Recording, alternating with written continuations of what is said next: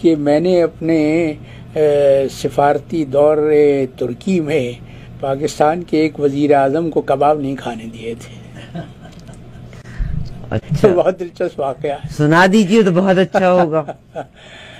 वो ये बात थी कि उन्नीस दो उन्नीस सौ निन्यानवे में तुर्की में बहुत खौफनाक जलजला आया था। हम्म, कोई चालीस पचास हज़ार लोग मर गए थे। हम्म, तो मैं उस ज़माने में वहाँ सफ़ीर था तो मेरे पास जलजले के तीसरे दिन उस वक्त हमारे वज़ीर खारजा थे सरताज अज़ीज़ साहब। हम्म, उनका फ़ोन आया हम्म, कि वज़ीर आज़म साहब आना चाहते हैं।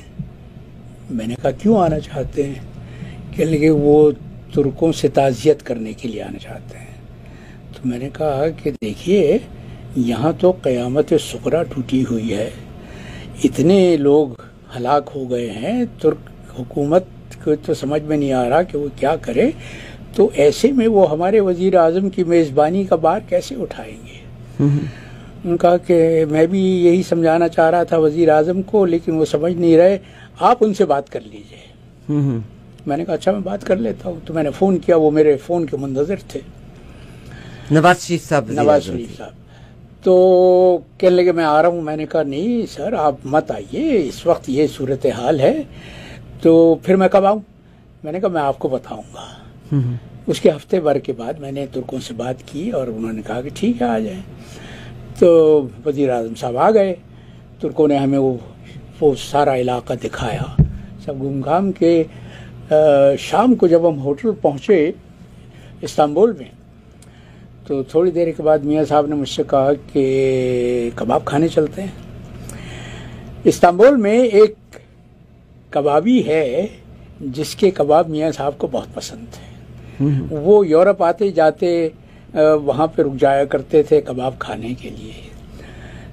और उसको उन्होंने सरकारी मेहमान बनाकर एक हफ़्ते के दौरे पे पाकिस्तान बुलाया था।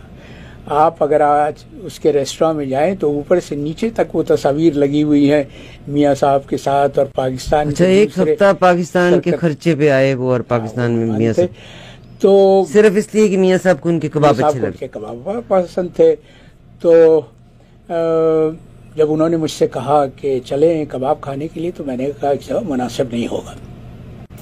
लगे क्यों? मैंने कहा देखिए आप तुर्कों को पुरसा देने आए थे अच्छा नहीं लगेगा और आप आप जब निकलेंगे तो पूरा प्रोटोकॉल चलेगा अ, वो आउट राइडर्स सीटियाँ बजाते हुए चलेंगे सब गुजराती अच्छा नहीं रहेगा तो कहने लगे कि अच्छा तो फिर कबाब यहाँ मंगवा कबाब यहाँ मंगवा लेते हैं। मैंने कहा वो भी मुनासिब नहीं होगा। लगे क्यों? मैंने कहा यूँ नहीं होगा कि कबाब जब खाना आता है, आपको मालूम है वी वी आई पीज के लिए तो उसका एक प्रोटोकॉल होता है, वो पूरा इंटेलिजेंस वाले उसको चेक करते हैं कि कोई उसमें ऐसी चीज़ तो नहीं है जो जो नुकसानदेह हो तो अच्छा नहीं होगा मुँह लटक गया। तो मैंने कहा कि परेशान नहीं हो। कल सुबह को हम जा रहे हैं अनकरा तो मैं उससे कहता हूँ, अभी वो सुबह को जहाज़ पे रखवा देगा। हाँ ये अच्छा है। तो दूसरी सुबह को जब मैं उनको लेकर एयरपोर्ट जा रहा था तो जैसे ही हम एयरपोर्ट के अहाते में दाखिल हुए तो मैंने देखा कि वो खड़ा हुआ वो कन्वेयर बेल्ट पर जहाज़ में खाना रखवा लगवा रहा रखवा रहा था। जैसे ही जहाज़ ने टेक ऑफ़ किया मियाँ साहब ने मुझसे कहा कि कबाब मंगवा लो। सफ़ीर साहब वो खाना रखवा दिया? मैंने कहा जी रखवा दिया। उन्होंने कहा मंगवाइए। तो वो कबाबों से उन्होंने पूरा पूरा इंसाफ किया। मैं ये परेशान कि ये अपना पेट भर रहे हैं कबाबों से और अनकरा में सदर सलेमान देमरिल ने लंच रखा हुआ है सरकारी लंच रखा हुआ है। उस वक्त ये क्या करेंगे? लेकिन जनाब वो इतने खुश खुराक हैं माशाल्लाह कि उन्होंने लंच पर भी पूरा पूरा इंसाफ किया।